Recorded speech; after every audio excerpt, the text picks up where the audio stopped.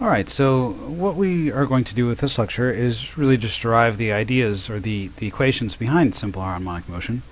Um, at this point you've done the experiment and you've seen the results, you've shared them with each other and we've gone over them a little bit. So hopefully you should you should have an idea of what simple harmonic motion looks like, the oscillation back and forth, and this is really just going to give some mathematical foundation to it. Uh, in a previous video I had shown you um, just a review of forces uh, with springs, and we had looked at Hooke's law. And we're really going to derive everything that we need from Hooke's law and Newton's law. And so just to very briefly review, when we displace the mass, the spring mass system off to one side, the force exerted by the spring goes in the opposite direction. When we compress it, the force tries to expand it. And this idea of a force that is constantly resisting the displacement and resists it proportionally, just in the opposite direction, is the defining characteristic of simple harmonic motion. And so we can do that with a number of different things, but we're going to start off with springs and then we'll, we'll go to pendulums.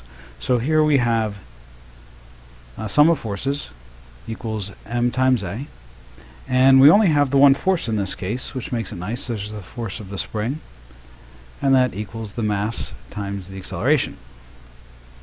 I go ahead and I plug in the opposite of kx equals m times a. And nothing too unusual here. This is the part that takes on a new importance uh, because it really gives rise to the whole simple harmonic motion idea. We call this a characteristic of a restorative force.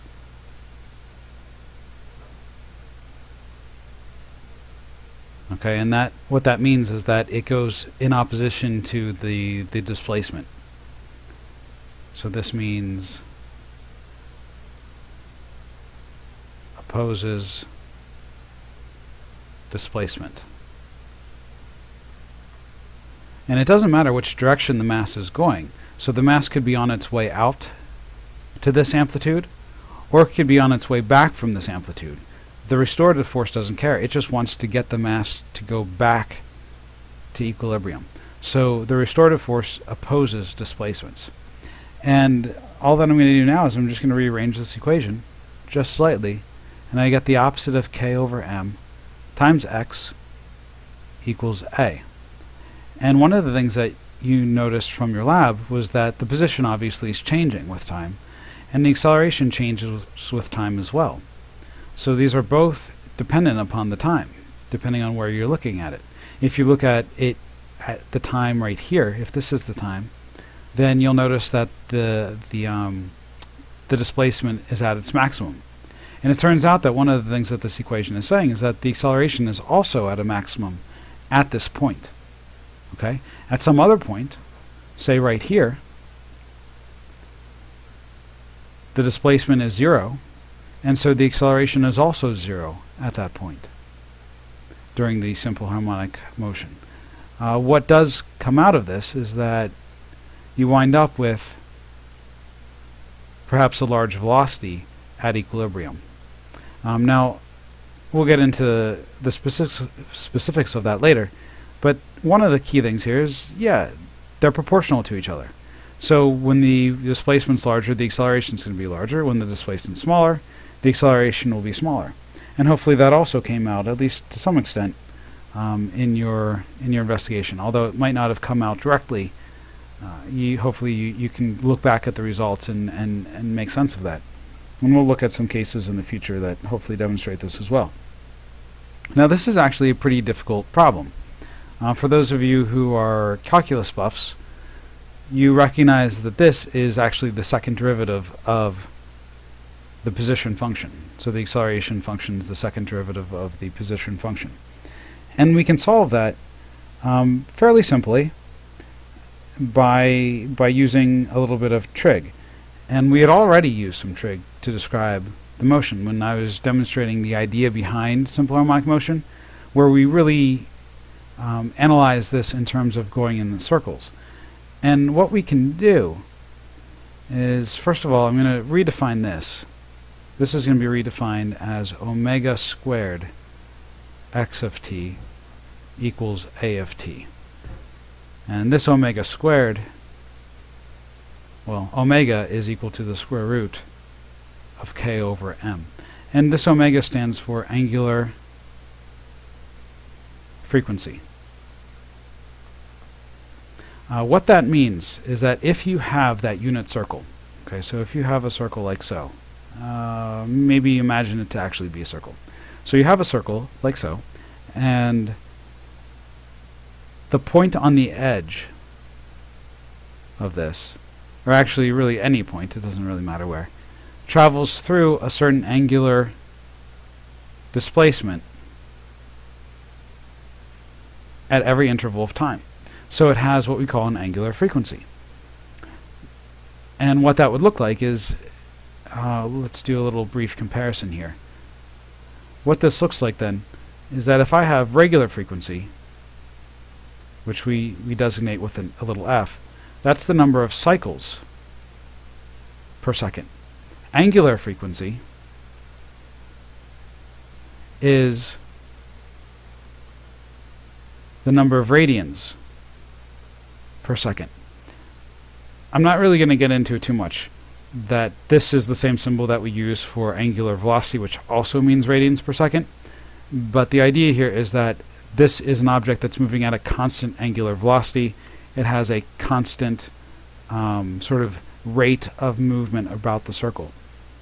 So all we need to really do to relate these two together is we can say that the angular velocity, I'm sorry, the angular frequency is equal to 2 pi times f times the frequency.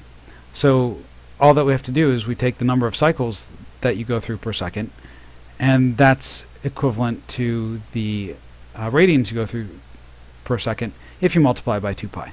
So just to, to carry this through to completion, if we had a linear frequency of, say, 2 hertz, that's 2 cycles per second. So that means that the angular frequency would be 2 pi radians times 2 cycles per second, which would give us 4 pi radians per second. They're equivalent statements. 2 hertz, 2 cycles per second, is the same thing as 4 pi radians per second. And the part that is a little bit strange is that we treat this thing that's clearly just going back and forth in a straight line, the spring oscillating back and forth. We claim that it has this angular frequency, and we do that because we pretend like it's going in that circle. Um, if you have questions about that, uh, it doesn't quite make sense, go back and watch the, the videos where, where I explain that. Um, it is a, a little bit of a challenging concept. But in any case, what we wind up with is this idea of an angular frequency. If we square that angular frequency, multiply by the position, we get the acceleration. Um, looking at this angular frequency, because this is time dependent, what this is saying is that if the spring is more springy, if that k value is higher, then it will oscillate back and forth more rapidly. And this should make sense because if k is bigger, that means that there's more impetus to move the mass back towards equilibrium. So it is going to oscillate faster. It also indicates that if the mass is bigger, the angular frequency is smaller, meaning that the number of cycles that it goes through per second gets smaller. This should also make sense. The larger mass means more inertia, more resistance to changes in motion. So for a given force trying to pull it back towards equilibrium, it's harder to actually get it to go back towards equilibrium. Um, and so it, it behaves more sluggishly. And both of these results should have come out in your experiment. And we could see that in the shapes of the results that you should have gotten. In the one case, you should have gotten something like this, where when you were comparing the period to the k value, you should have noticed that it gets it gets bigger and bigger and bigger, but it does start to, to kind of drop off. If, on the other hand, you were to compare the mass um, versus the the period, the mass actually I, I did this a little bit backwards. This will be mass. So the mass actually extends the period. The period gets larger and larger as you have more mass. Um, the the k value causes the period to diminish. So it starts off quite large, if you have a k value of 0, it never actually goes back. So imagine that I have a spring here that has a, a k value of 0. It has no restorative properties. You stretch it out, it just stays put. So the period, we would call that an infinite period. This is going up towards infinity. On the other hand, with the mass, um, when the mass is zero, there's no resistance to changes in motion. So it just flies back and forth um, in almost no time at all. So that, that explains these kind of initial conditions. Um, I'm going to stop this video right here for now to give you a second to digest this information. And then I'm going to look into this equation just a little bit more um, for a couple of minutes, and then we'll go into pendulums.